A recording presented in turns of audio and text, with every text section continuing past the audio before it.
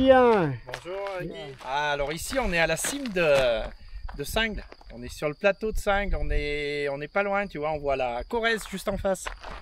On est en limite de, de la région, D'accord. limite du département, On limite à- de la communauté de communes. On a la, la Ah. partie Messé et de Ah. notre côté c'est Messé avec euh, euh, la Comcom de Chavanon. Chavanon.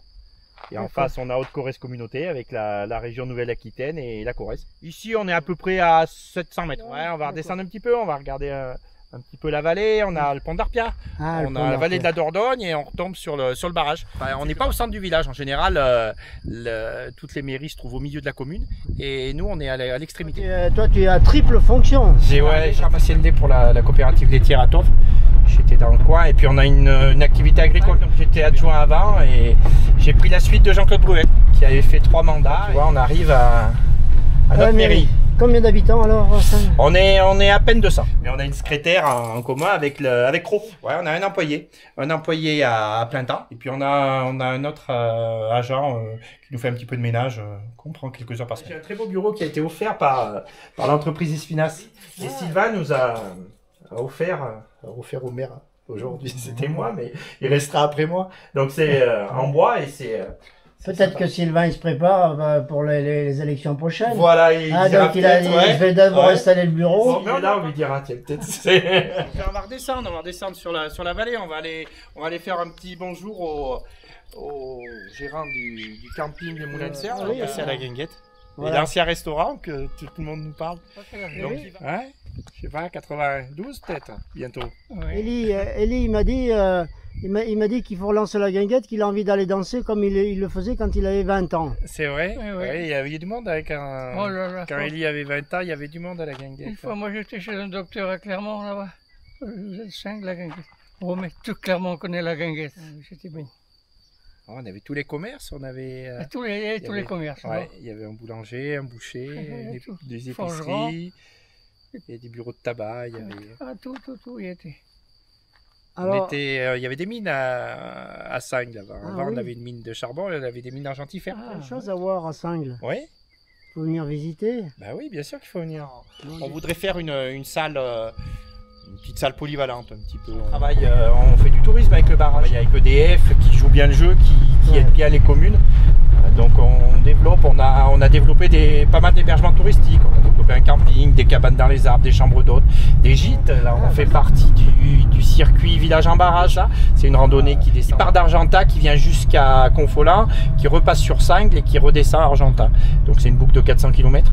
Donc on a beaucoup de marcheurs, mais ce week-end euh, on partage un peu les chemins avec, euh, avec les motards. C'est le Hard Défi Tour. Bah tu vois Guy, alors après avoir euh, été sur les plateaux, après avoir visité la mairie, ben, on est descendu dans la vallée.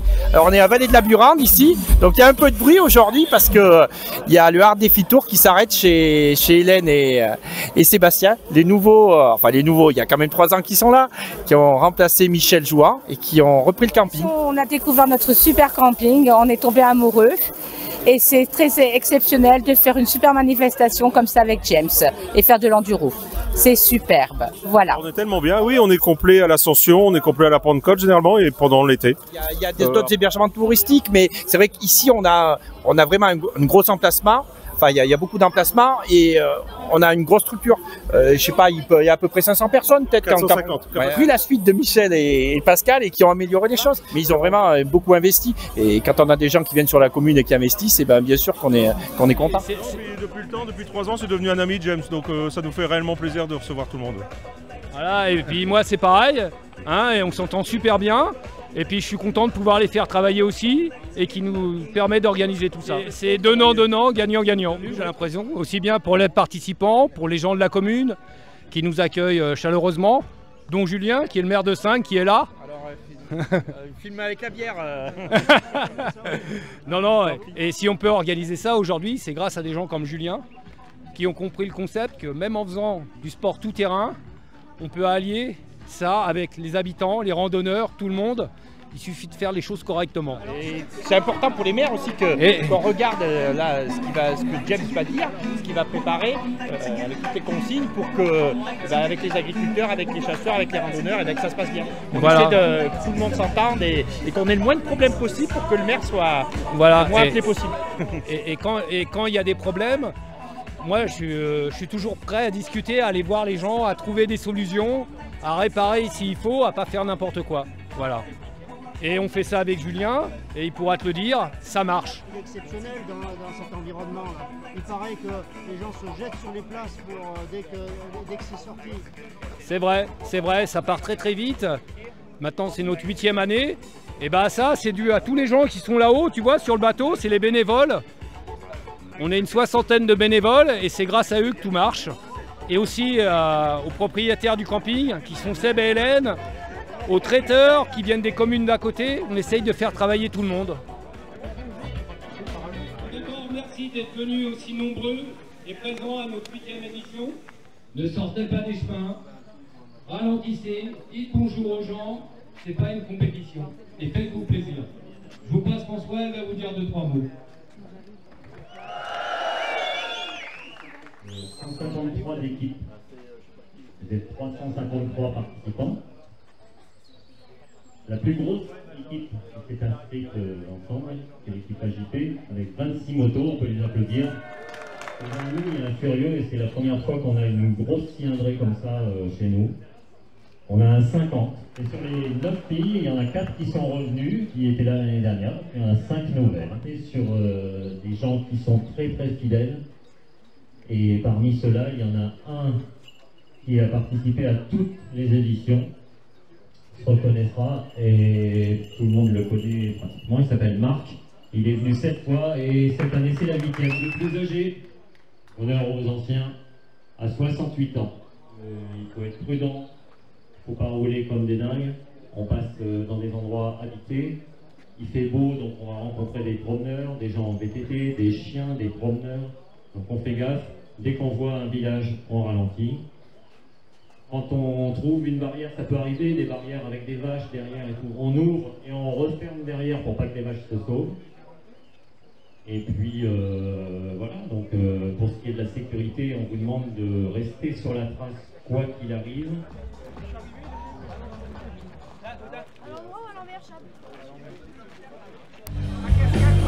Bon, mais, euh, il y a des gens du Carpet qui viennent travailler avec nous. Ah oui, hein, bien, ouais. Bonjour Guy.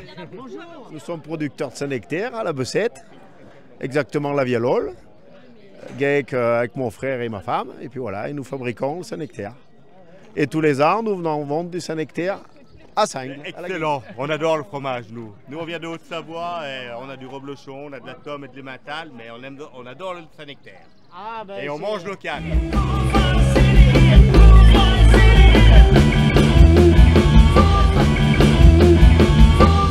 Quand même exceptionnelle. hein. Il y en a 3-4 en France de manifestations comme celle-là. Il manque un peu de public, c'est dommage, mais petit à petit ça se saura et on aura de plus en plus de monde, il faut le C'est pour souhaiter. ça qu'on voulait un peu faire connaître un peu la manifestation, pour que les gens se rendent compte un peu de ce qu'on fait. Euh, le briefing de James, il était pas mal, parce qu'il fait voir aussi que bah, quand il dit on passe dans les villages, on fait un peu attention, on va pas vite, c'est une randonnée, et on dit bonjour aux gens, et on essaie de pas, pas tout esquinter. Donc euh, donc c'est important. Puis bon, euh, on aime bien la moto aussi sur 5, parce qu'on a quand même quelqu'un qui a fait le Dakar euh, plusieurs fois, qui, a été, euh, qui a été en Argentine, qui a été un peu partout. Ah, je sais pas, on va lui demander. non, puis il a une belle moto à nous Bon, faire déjà pour la manifestation, euh, c'est une chance pour la région, c'est une chance pour Singles. Euh, c'est une manifestation au niveau national qui est reconnue et aujourd'hui euh, la réussite est là. hein.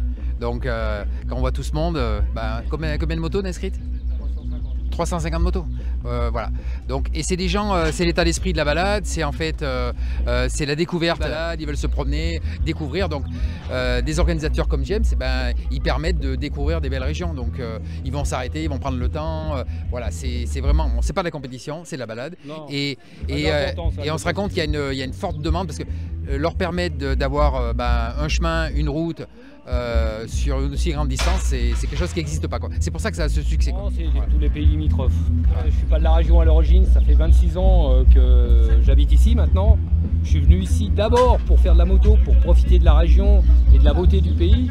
Et puis j'ai rencontré des gens aussi passionnés que moi, comme Sylvain, qui est, aussi mordu de moi, euh, que j'ai été voir. C'est un des premiers que j'ai été voir quand j'ai créé le Hard Défi Tour. Et il a été là, présent, il nous a aidés, il nous a encouragés. Julien, pareil, je l'ai connu, il n'était pas maire de, de à l'époque. Et, il- nous a encouragés. Et, voilà, et si on fait les choses correctement, en discutant avec les gens, en respectant tout le monde, ça marche. Ouais, c'est un, c'est un partage. Je crois que tu l'as bien dit tout à l'heure au, au briefing. En fait, les chemins, ils sont à tout le monde. On peut les partager, il y a des règles, il faut les respecter. À partir du moment où ils sont respectés, ben, il n'y a pas de raison. Il y a des chemins qui sont carrossables, qui sont accessibles à tout le monde, et c'est un équilibre. Voilà. Il faut Voilà. que l'équilibre soit respecté. S'il est respecté, il n'y a pas de souci. Et, et- et le problème quand on fait des événements comme ça, c'est qu'on prend pour tout le monde. Moi, les gens ils me connaissent parce que je suis guide de randonnée dans la région. Il y a des problèmes avec les quads, il y a des communes qui gueulent, qui disent tiens, ils sont passés, c'est Jeps. Même si c'est pas moi, c'est moi parce que j'habite à côté et que je me cache pas. Et voilà. Et, euh, fait un événement comme ça, bien sûr, on sait que c'est moi aussi parce que la région est petite. Et bah c'est pas grave, je prends pour les autres et puis euh, on essaye de prouver aux gens qu'on peut faire les choses correctement et que ça marche. Et d'ailleurs ça marche parce que ça fait 8 ans qu'on le fait. Donc euh, Gilles a été la chercher exprès en Italie pour la présenter ici, pour montrer aux gens que bon, le, tout-terrain, il y a une prise de conscience sur le tout-terrain, le respect de la nature et tout. Là, c'est une moto électrique. Alors, on en est au début, hein, c'est les prémices, hein, donc euh, c'est vrai qu'on est, loin est loin du thermique, mais pour montrer qu'il y a une prise de conscience, et en fait, euh, c'est en train de démarrer. Alors, ça sera peut-être pas les, motos électriques qui, qui l'emporteront demain, mais en tout cas, il y a, d'autres projets, il y a des choses qui. C'est pour ça que j'étais au Dakar, qui sont venus me chercher année, pour conduire cette moto-là, qui est une moto toute électrique, 100% électrique. Alors, c'était un petit Dakar, hein, c'est pas le même que celui qu'a fait James. Euh, ils nous ont fait faire un petit Dakar avec 100 km par jour, mais voilà, le- la prise de conscience est là, et il y a une moto euh, de- qui est italienne et qui était là et, et qui, a fait, euh, qui a fait le Dakar. Il y a des motos qui permettront de le faire. Ouais. Ben, les participants pourront venir avec, il n'y a aucun souci, pas sectaire. Parce que un Hard Défi Tour, bon, c'est une balade moto et tout, mais c'est une balade dure. Une balade dure dans la. En fait, c'est qu'elle est. Bon, c'est quand même 400 km par jour, donc faut quand même. euh, voilà, faut quand même. donc une moto électrique n'a pas l'autonomie aujourd'hui. Voilà, donc. mais ça va arriver. problème. Mais voilà, c'est bientôt. J'ai oublié de dire tout à l'heure au motard, c'est le, c'est le fruit du parrain de ma femme qui fait ça. Sur Dunkerque, il a fait le X-Wing grandeur nature, il a fait le Pod Racer grandeur nature. Donc il nous a prêté gentiment cette année les, les Transformers. Auto 3000 à TT Game, 59 000. On a fait une petite visite de Sang, on a vu un super événement. Donc, euh, donc pour faire une petite conclusion un peu de, de notre journée, on a vu qu'on pouvait travailler, que tout le monde euh, pouvait travailler, tout le monde pouvait circuler sur la commune, qu'il y avait, qu'il y avait possibilité d'avoir des motards, et il y a des randonneurs, il y a des chasseurs, et que tout le monde pouvait s'entendre. On va vraiment essayer de travailler tous ensemble. Et s'il y a des randonneurs, s'il y a vraiment des gens euh, à qui ça pose problème, et ben, il faut qu'ils viennent nous voir, on va essayer de discuter, on va essayer d'arranger les choses. Et puis c'est vrai que des fois, eh ben, on a des motos qui nous esquintent un peu des, un peu des chemins, un peu si. Peut-être qu'on interdira certains chemins, mais qu'on laissera passer de l'autre côté. Mais il faut tout le monde discute, tout le monde se mette autour de la table. C'est pas la peine de s'énerver et dire les motards on les veut pas, euh, les randonneurs on les veut pas. ça marchera pas, Ça, marchera pas. Et puis, Puis et puis, et puis voilà. Et puis quand on voit l'activité que ça amène sur une commune, c'est pas Sébastien qui va me dire le contraire. Euh, on est content qu'il y ait un événement comme ça. Et, euh, les locations sont pleines autour, le camping est plein. Euh, les gars de- du Cantal viennent travailler chez nous. Ils font, euh, je crois qu'il nous a dit qu'il y avait combien 1500 repas. Euh, c'est c'est énorme. Donc, bon, quand on a quelqu'un comme ça qui nous fait des vidéos, c'est important parce que ça, ça promouvoit notre commune, ça promouvoit euh, les équipements qu'il y a sur notre commune. Donc, euh, on va refaire un petit teasing. Alors, la prochaine fois, euh, c'est mon adjoint qui va faire ça parce qu'il est beaucoup plus sportif que moi. Il a proposé de, de traverser la commune en vélo. Donc, avec toi, Guy. Non, ah, bah, écoute, moi, je fais la partie motorisée et lui, il fait la partie euh, plus sportive. prêter le triporteur. si. Je passerai juste pour manger avec vous à midi, moi, je pense. C'est tout. Faut pas oublier qu'on a le Tour de France qui va passer là, qui va passer juste euh, le 10 juillet, qui va passer juste devant. Donc, il passera à la Guinguette, il passe à Mcé, il passe à La Rotte, Trémouille. Donc, euh, donc il y surtout aura à et surtout à 5. Donc, il va y avoir encore un gros coup de projecteur.